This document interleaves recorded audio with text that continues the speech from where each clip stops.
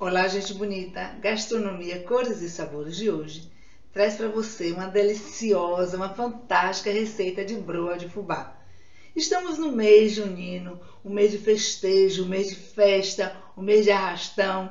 Então, esse mês nós traremos receitas para você pertinente aos festejos juninos. Se você gosta dessa época, se ligue! Se ligue aqui na Gastronomia Cores e Sabores, se ligue na TV Cacau e acompanhe cada receita maravilhosa. E quem traz pra gente hoje a receita da broa de fubá é nossa amiga Nilza. Sim, Nilza, aquela mesma do pãozinho de queijo. Então ela hoje nos traz essa receita top. Gratidão, Nilza, por mais uma vez colaborar conosco.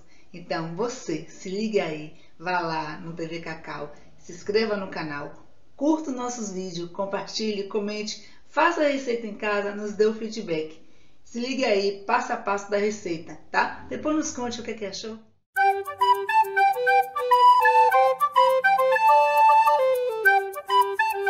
Olá, eu sou a Nilza Márcia, eu sou economista doméstica e também faço curso de gastronomia.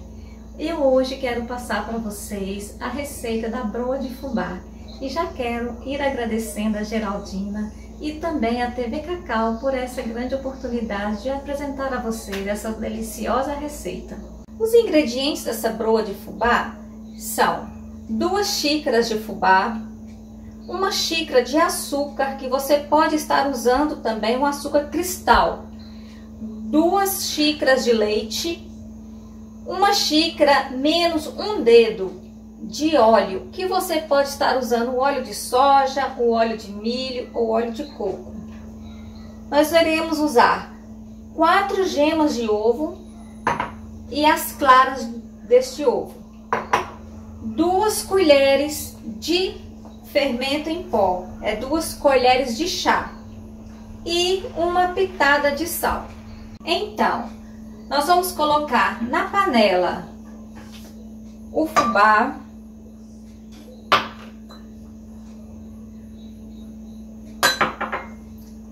o leite,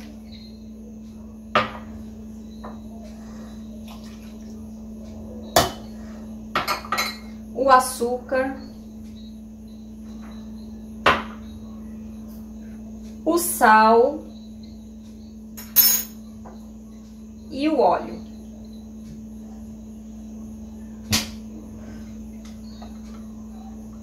Nós iremos misturar esses ingredientes e levaremos ao fogo até engrossar e começar a desgrudar do fundo da panela.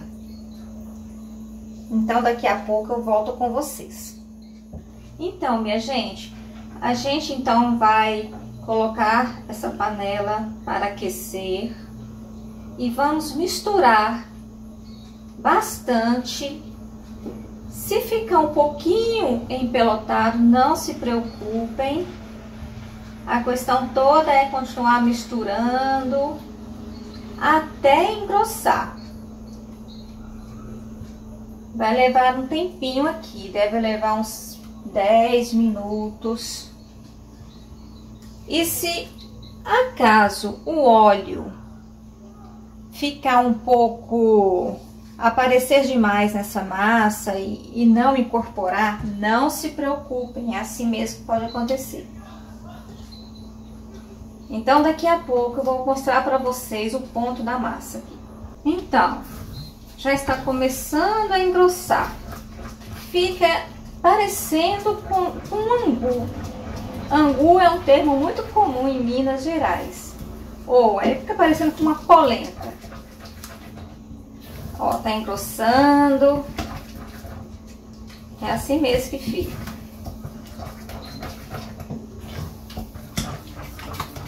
Não fica uma massa muito lisinha. E eu troquei a colher, vocês estão percebendo, né? Porque essa colher aqui é mais firme para fazer esse, esses movimentos aqui. Vocês estão vendo que a massa ainda tá... Ela tá engrossando. Na verdade, nós estamos fazendo pré-cozimento deste bolo.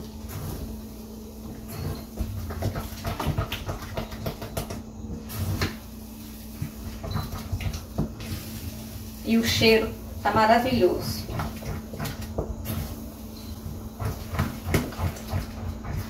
Vocês estão percebendo? Olha a consistência, ó. Ainda não tá bom.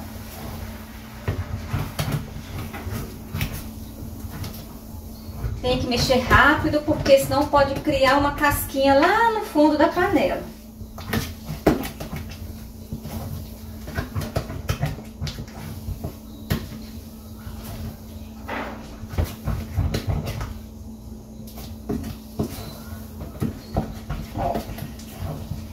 Já tá ficando a massa lisinha, ó. Já não tem mais nenhuma pelotinha. Vocês estão percebendo que ela, que ela começa a querer a mostrar o fundo da panela, ó.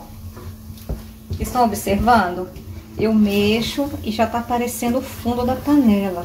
Ó, eu passo a colher e já vejo o fundo da panela. É nesse ponto aqui que eu vou tirar. Que eu vou, no meu caso aqui, eu vou desligar.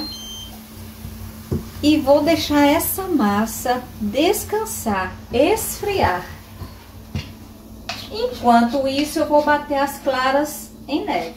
Então, minha gente, enquanto a massa estava esfriando, levou mais ou menos aqui uns 15 minutos, eu coloquei o forno para pré-aquecer a 180 graus. Eu bati a clara em neve e enfarinhei a minha forma com manteiga e também coloquei farinha de trigo, né? Eu untei com manteiga e enfarinhei para que não grude né, o, o, o bolo. A massa do, da temperatura dessa massa, eu vou saber pegando um pouquinho da massa e testando na minha mão. Se não tá queimando, eu já posso trabalhar na massa. Por que, que é importante não utilizar essa massa muito quente? Porque ao colocar os ovos, eu vou, né, eu vou cozinhar esse ovo se tiver muito quente. Então, eu preciso deixar esfriar, tá? Então, agora eu vou colocar as gemas.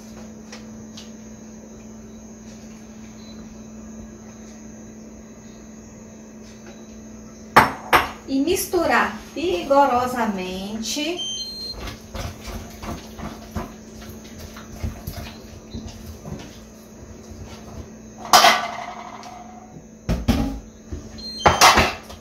Olha só. Eu tenho que incorporar toda a gema de ovo na massa. Vocês vão perceber que ao esfriar a massa, ela endurece um pouco. Então, agora é importante demais você misturar com bastante vigor para incorporar essa gema na massa. E ela volta um pouco a ficar mais mais fluida, né? Olha. Agora eu vou colocar o meu fermento.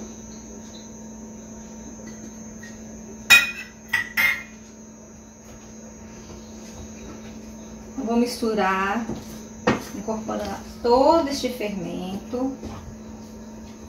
E ela muda também um pouco a textura, porque o fermento, quando começa a agir, né, já começa a aerar esta massa. Olha só o aspecto como muda. Vê que ela tá toda aerada, por isso que não pode mexer com tanto vigor. Agora com mais delicadeza. E por último, nós vamos incorporar as claras. Agora que nós iremos misturar com mais delicadeza ainda fazendo um movimento de baixo para cima, incorporando essas claras em neve, que nada mais é do que você está incorporando ar à massa, para que ela fique mais leve, mais porosa, airosa. Aí você vai fazendo esse movimento de baixo para cima, incorporando a clara.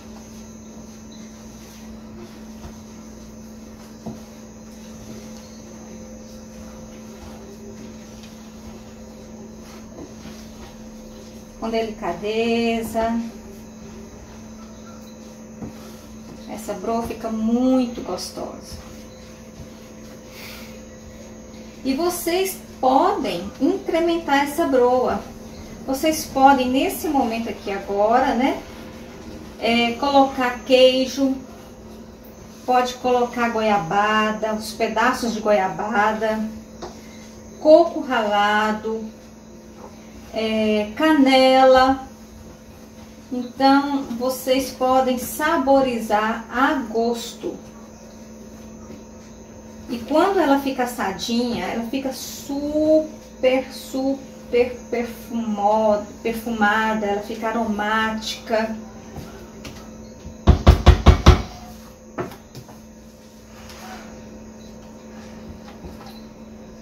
vou pegar uma espátula aqui para tirar essa massa dessa colher aqui, ó.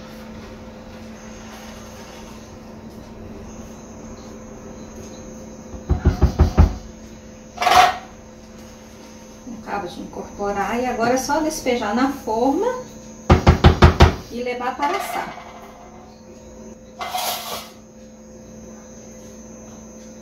Olha como ela rende.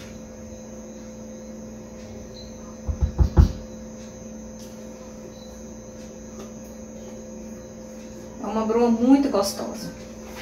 Todos que experimentam essa broa pedem receita. Então, após 36 minutos, mais ou menos, o meu bolo já está assado. Como ele está. Então, aqui nesse momento eu vou deixar ele esfriar para a gente poder desenformar. Eu não devo desenformar ele quente, porque senão ele não vai sair todo inteirinho. Então agora temos que ter paciência e o cheiro está maravilhoso.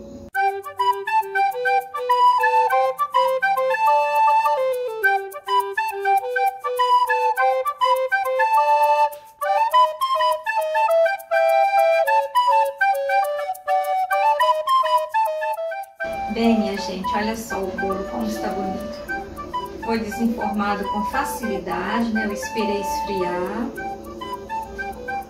E agora é só experimentar?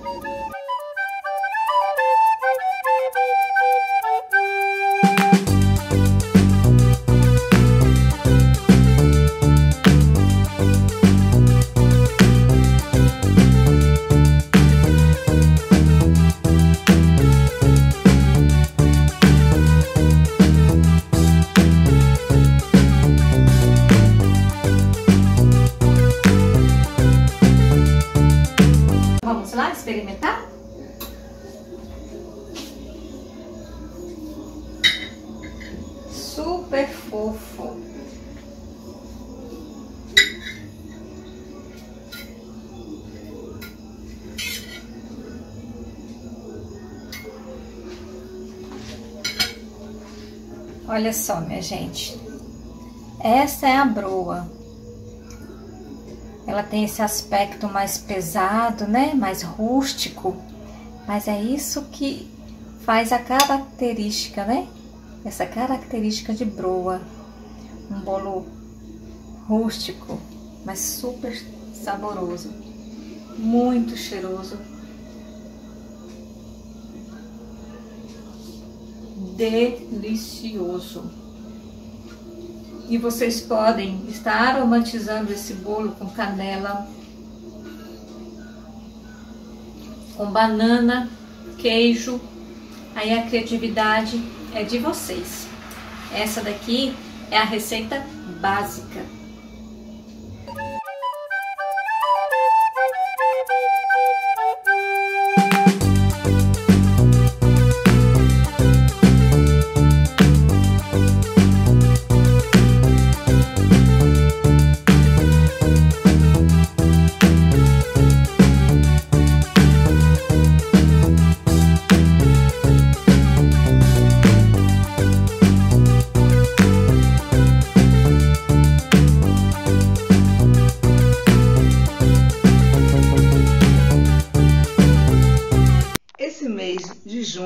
Mês de festejo, mês de comilança, nós temos quatro santos: Santo Antônio, São Pedro, São Paulo e São João. E se você gosta desses festejos, dessas comilanças, se liga aqui em Gastronomia, Cores e Sabores. Esse mês vamos trazer só receitas pertinentes a esses festejos.